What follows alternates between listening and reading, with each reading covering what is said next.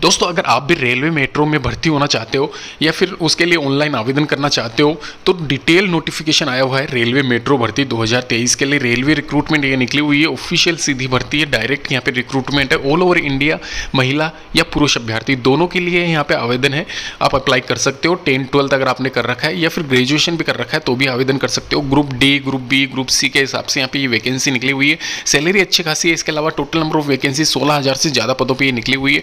All over India vacancy को कैसे apply करना है, पूरी डिटेल्स डिस्कशन करेंगे इस वीडियो के साथ में, शुरू से लेकर एंड तक बनी रही है दोस्तों इंडियन मेट्रो रिक्रूटमेंट 2023 की मैं बात करूँगा रेलवे भर्ती 2023 है, ये मेट्रो जो भी मेट्रो यहाँ सिटीज़ है, उसमें ये वैकेंसी निकली हुई है, जैसे कि बेंगलोर में, यहाँ पे चेन्नई में, दिल्ली मेट्रो जयपुर मेट्रो ये सारी जितनी भी मेट्रो सिटीज़ है, वहाँ पे ये मेट्रो जो भी है मेट्रो रेल तो उनमें ये वैकेंसीज निकली हुई है। इसके अलावा ये मेट्रो की ऑफिशियल वेबसाइट दे रखी है सामने, और इसके सामने यहाँ पे पदों की संख्या दे रखी है, जैसे कि कोलकाता में, कोलकाता मेट्रो में कितनी वैकेंसीज है? मुंबई मेट्रो में अठारह है, जैसे कि यहाँ पे देख सकते हो गुड़गांव में, जयपुर में कितनी जयपुर मेट्रो में कितनी वैकेंसीज है? ये सारी लिस्ट यहाँ पे दे रखी है। वेबसाइट का यहाँ पे लिंक भी दे रखा है, जहाँ पे क्लिक करके आप वेबसाइट के ऊपर जा सकते हो और पूरी डिटेल्स पा सकते हो।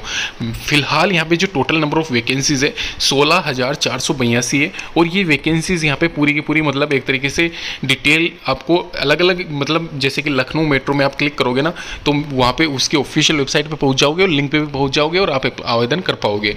तो ये वैकेंसीज में एक तरीके से सम्मिलित रूप से बता रहा हूँ। टोटल मिला के सोलह होती है।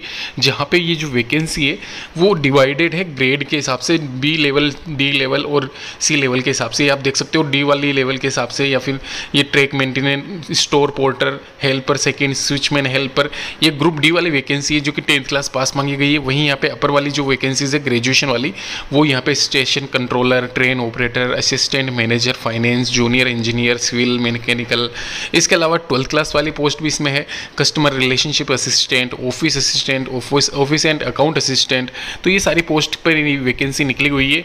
अलग अलग जोन में अलग अलग पोस्ट है, उनकी संख्या अलग है। तो वो आप उसके हिसाब से जोन के हिसाब से देख सकते हो कितनी वैकेंसीज अवेलेबल है, वो मैंने बता दी है।